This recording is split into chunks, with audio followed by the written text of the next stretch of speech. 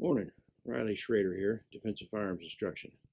Going to run through a little drill for you called the 5, 5, and 2 drill.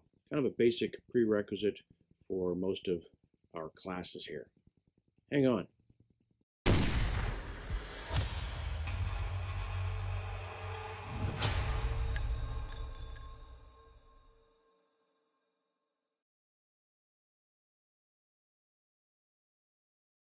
Going to discuss the, the 5, 5, and 2 drill. Start off with three magazines filled with five rounds each. Drawing from the holster, fire five shots. You run to slide lock.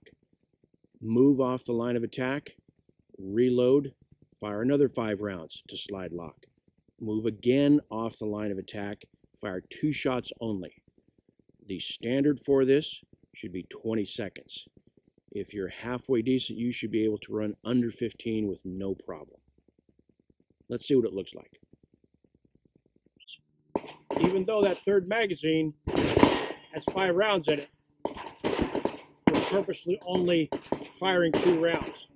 This document we're not necessarily in a rut of only shooting to slide lock or only shooting a certain number of rounds or only shooting until the magazine's empty. Here's what it looks like.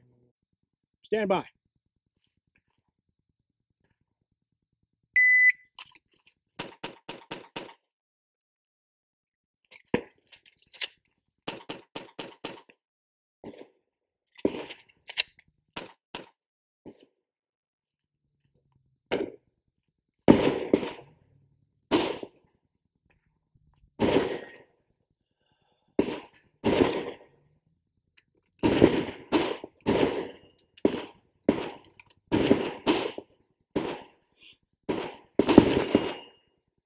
Concludes the 552 survival shooting drill.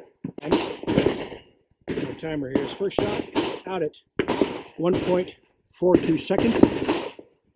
The total is 10.96 seconds. The standard for this drill is 20 seconds.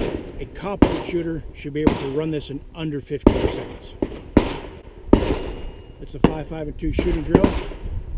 Riley Schrader from Defensive Firearms Instruction. Thank you very much.